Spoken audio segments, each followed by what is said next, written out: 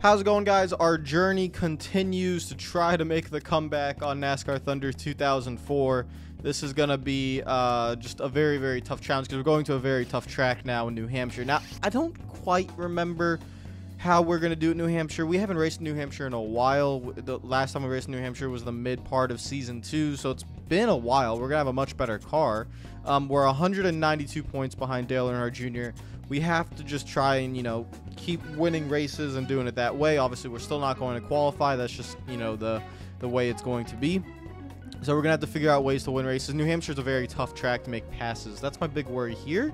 If I could get the car turning in the center of the cor- corner, I, I, I won't be honestly that surprised. Um, the the sponsorships, you guys are pretty clear. Uh, the, the the secondary one, you guys said just go with whatever was the highest income because you're not necessarily going to, you know, do it. So whatever's the highest income, and I don't even know honestly why. Um, well, I, I do know it's the, the the expectation qualify in first place, um, but it's just so much higher income compared to everything else. So whitetails will be on the back of the car.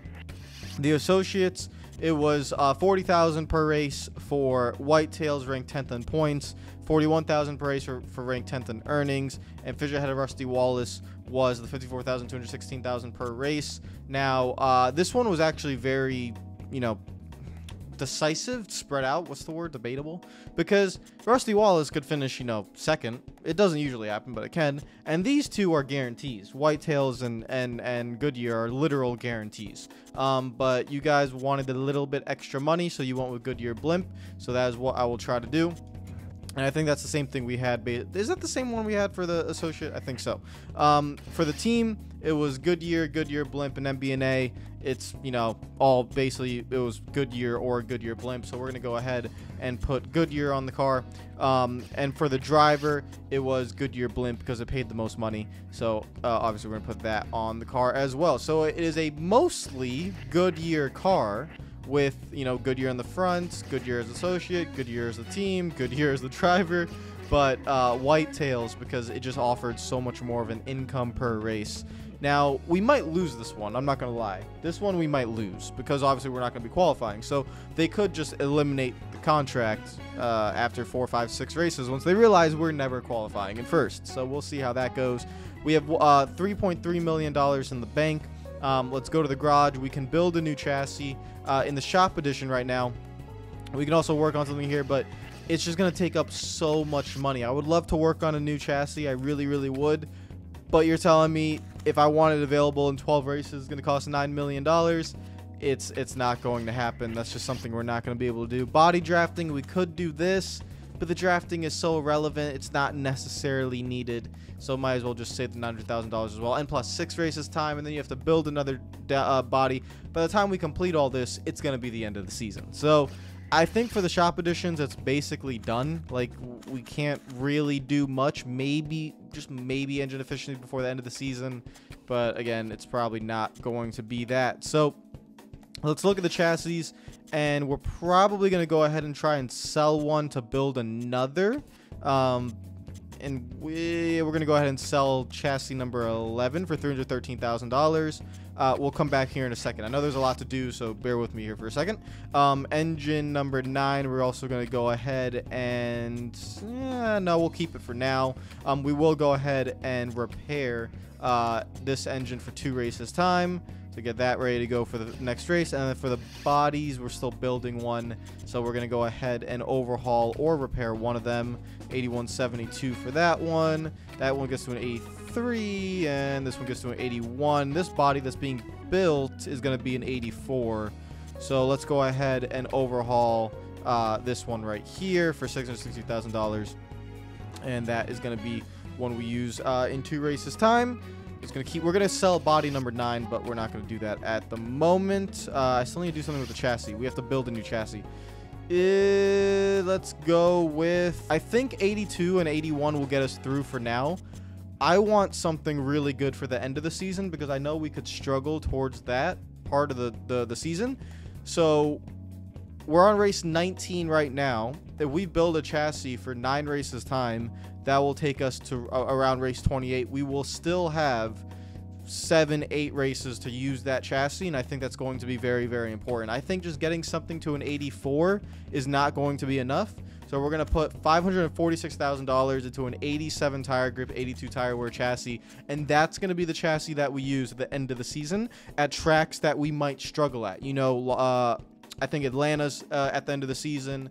Uh, the Rock is is always a little bit iffy. Homestead is a little bit iffy as well. So we need that strong chassis for that one. Engine, we might do the same thing for the engine is put an engine for nine races time once engine number 12 is also built. Um, and so we'll see how all that goes. Uh, that was a very long intro. I want to give a shout out to all the Patreon members as always for supporting the channel.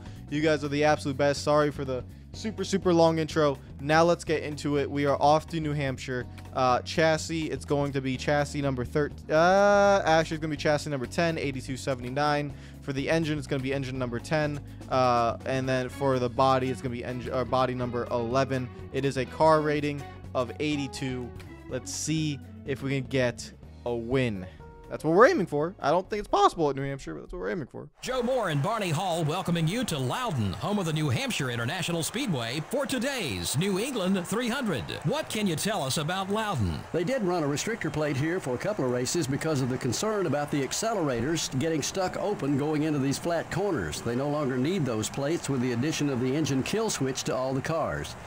The switch is on the steering wheel and allows the drivers to quickly shut the engine off if they're going into the corner too hard.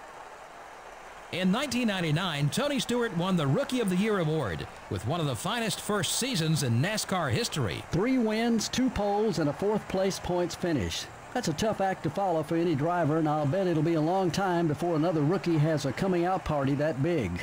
In 2001, Robby Gordon got his first career victory in thrilling fashion here in New Hampshire. Well, I guess thrilling is one way to put it. I know Jeff Gordon wasn't too thrilled about it. Robby got into him pretty hard in turn one, but that's racing, and a guy will do just about anything to get that first win. The 83 car extended his sponsorship contract this week. They've built an incredible relationship with their sponsor so far. In fact, I expect that deal to continue for a long, long time to come.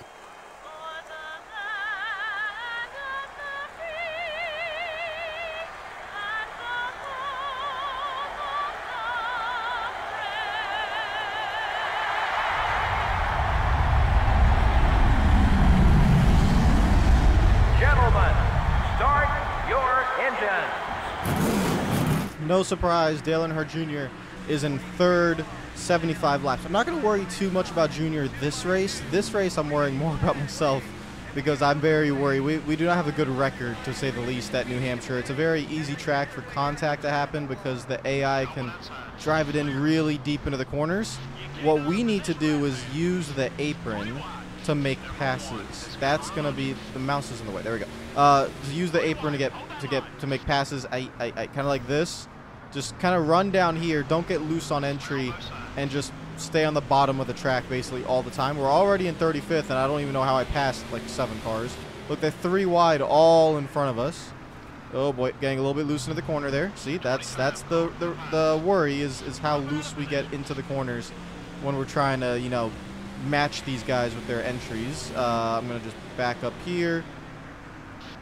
There we go. That's what I want to do. I want to enter the corner just like that. Now we just run the apron all the way through, and we just slide right up. We're in the top 30. And I've made no contact with anybody. That's exactly what I want to do. They're going to be able to drive it in deeper than me, but as long as we can just... There we go. Just do that. And then keep an eye out on the right side. There's Labonte. And we're just going to go into 26. All right. I like the way the car feels, too. I'm liking this. Hopefully the tire wear, you know, stays with me. That's what I'm hoping as well. If I start getting loose on entry, it's over. Three wide with Jeremy Mayfield. Still trying to get a little bit of a run. And now Mayfield's running the bottom lane, and we're going to just, okay, slide right up. We're in 21st. Not too worried about it. I don't want to actually enter on the high side. I'm going to back out of that. There we go. Get back to the bottom. And Mayfield is blocking a lot. Look at him. He's trying to block again. He somehow got a run coming off the corner. Let's go back into one and two. I really wish I could drive it in deeper, but I can't. There we go. I can just pick up the throttle in the middle of the corner, and we get the pass into the top 20. It's getting a little bit tougher and tougher to, to, to make some passes. I had to work on Mayfield for a solid two, three laps, but We're okay. I, I don't think we have race winning speed. I'm, I'm still pretty sure on that. I, this does not feel like race winning speed, but a solid top 10 I think we can do. I just can't make mistakes, which is going to be very difficult. That was my first lap, basically, with no one around me, and I'm, I'm actually able to arc the corner.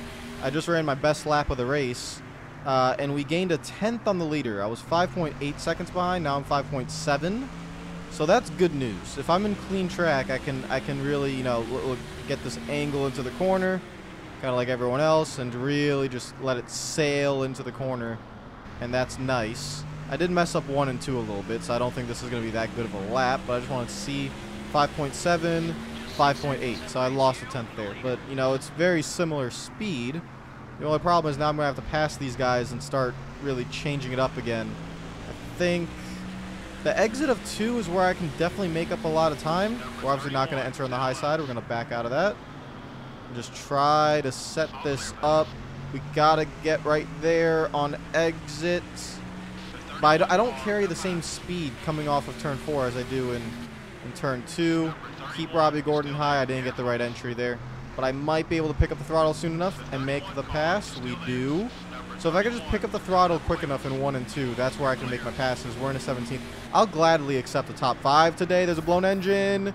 There's a blown engine right in front of us. I got to be careful with a checkup. A possibility of a checkup right here. Kurt Busch has blown an engine. And it looks like everyone's going to get around him, right? There he goes. He's going to start slowing down. Kurt Busch is out of this race. Okay.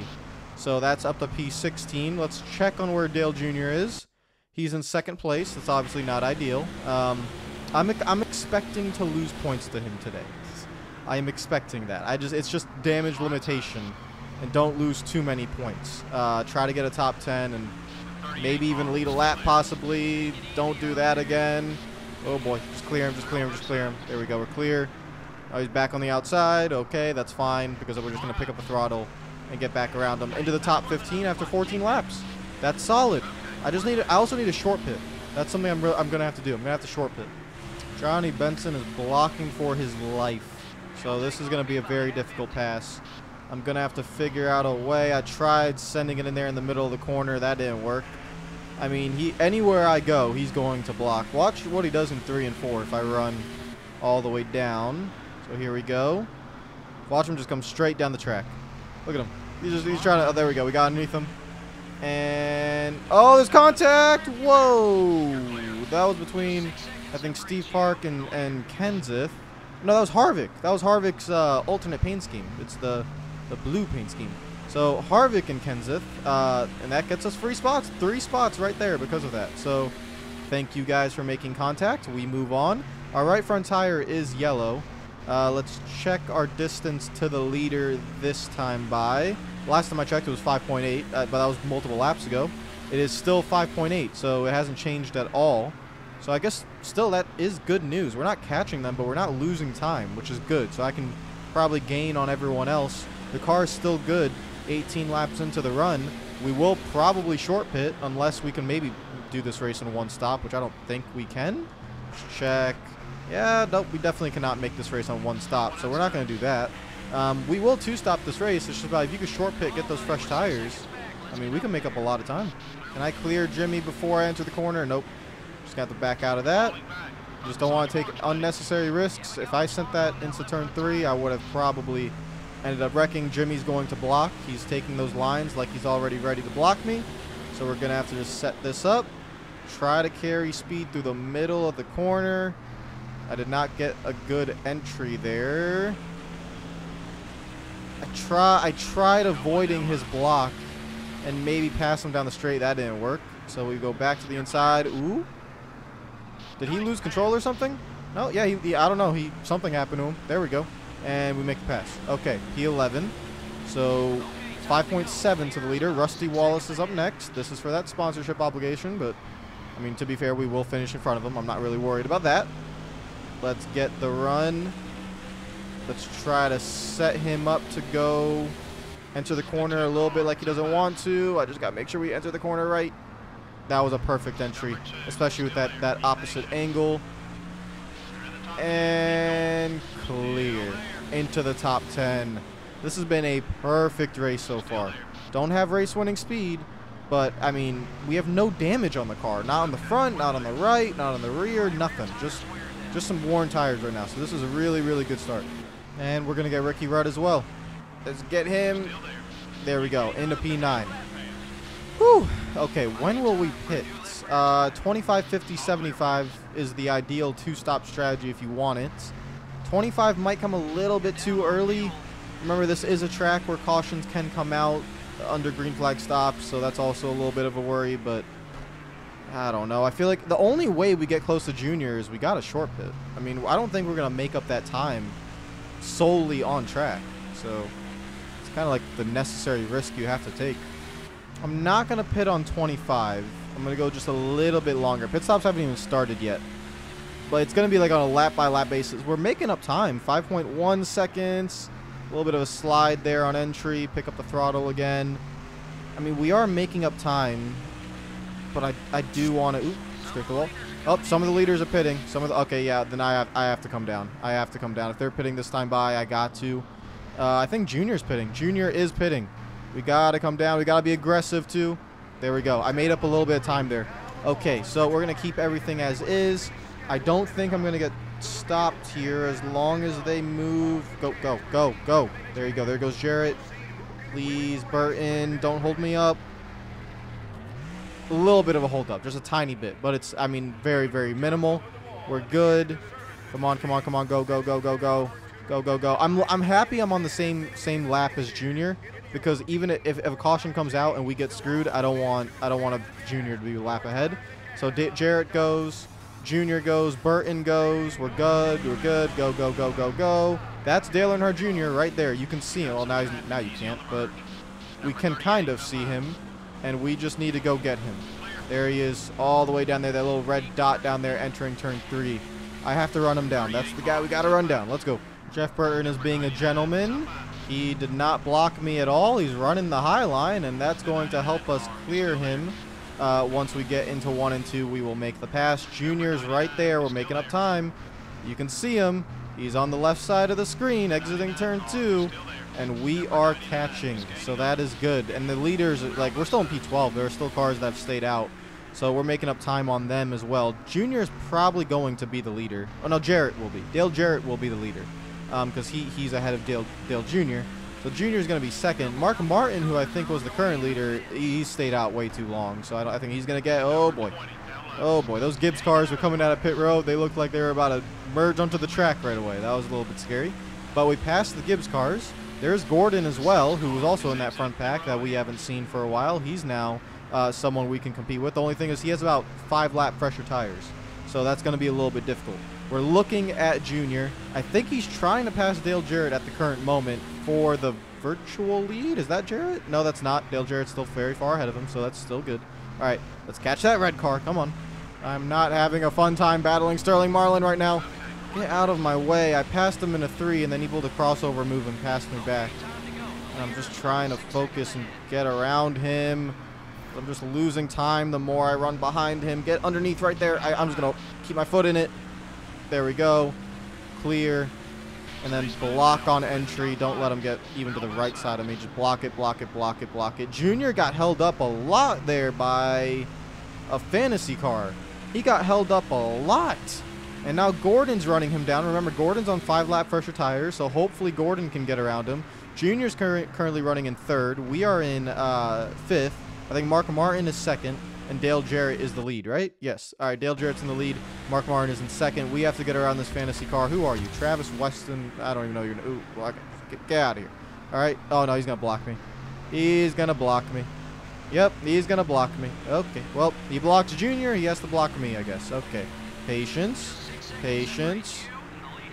Patience. Patience. Just wait on it. There we go. Right there. Boom. Try blocking me again, you fraud. Get out of here. You're not even real. And to be fair, none of these guys are real. Literally. Only me. But even me in game version is not real. It's all virtual. But still. Alright, back to focus. Back to focus. Come on. Alright. Focus, focus, focus. Dale Jr. Come here. Good job, Gordon. Let's go. Passes Jr. We are right here. Ah, we're going to get him.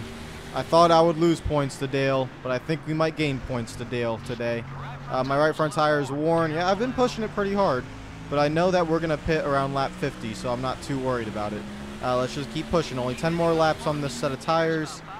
Come on, let's go. Oh boy, oh boy, oh boy. Control it on entry. Control it on entry. Oh boy. We're still five seconds behind uh, the leader, Jarrett. I don't think we're going to catch Dale Jarrett at any point this race, but as long as I could get around Junior, here we go. It doesn't look like he's blocking. We absolutely sent it, and we are clear. Yes, we are. We're clear. Goodbye, Dale Earnhardt Jr. into P4. Now we have lap cars to deal with, and Gordon, who's on five lap fresher tires. Got blocked Jr. right there. All right, now we get back down, get back down, get back down. I hate you. I actually hate you. Why are you blocking there, you absolute fraudulent piece of target trash? I cannot understand you at all.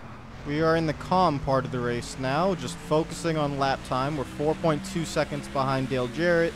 Uh, we're about two seconds behind Mark Martin, so that's something I want to catch as well. We got to keep Gordon in our sights because he's gonna pit late.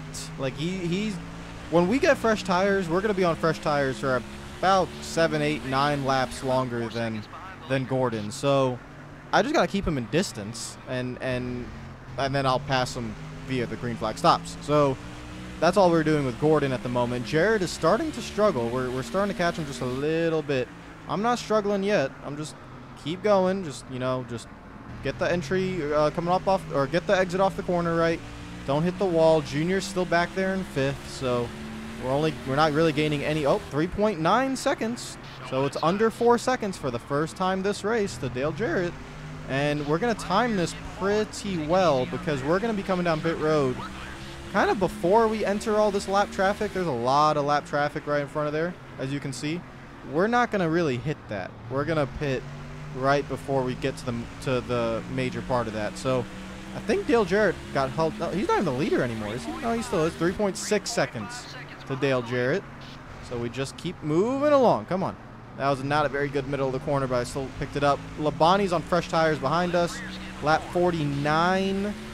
It's either lap 50 or 51. That's when we're pitting. I just haven't really decided yet. 3.4 seconds. We're gaining so much time on Dale Jarrett. Uh, let's just keep pushing along. Oh, boy. Almost hit the wall there. Okay. Get around this guy. Is Jarrett pitting this time by? I don't hear anything. I'm going to go one more lap, and uh, I'm going to pit on lap 51. So we will pit on lap 51 just in case, you know, if a caution comes out, well, no one's going to pit, so you want to be on uh, not too old tires. So short pit without taking too much of a short pit. Uh, they are right there. That is Dale Jarrett. Am I crazy? Dale Jarrett's literally right there. He's not that far ahead. Oh my god. All right, we're pitting this time by. Books, books, loose. Books, books, books. Look, they're right there. They are right there. All right, we're pitting. Let's go. And 70 miles per hour. Beautiful scenes. Okay. This is a perfect opportunity to get the lead. Pit crew, I am desperate. Give me a sub 16 second stop. I don't need 16.1. I need 15.5. Please, give it to me. Come on, sub 8. Yes. Yes, it's sub 8. Come on. Come on. Please. Please, pit crew. I'm actually going to love you. Oh my god, I love you. 15.5. Round of applause.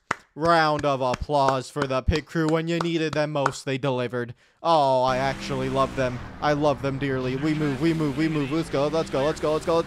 Don't let Rusty Wallace get in front of us because we have clean track. We have clean track. I'm trying to get the car to turn. Oh, boy. All right, we're good. Oh, clean track. Look at that. We found the one little gap with clean track. Oh, it's a perfect strategy call from the crew chief.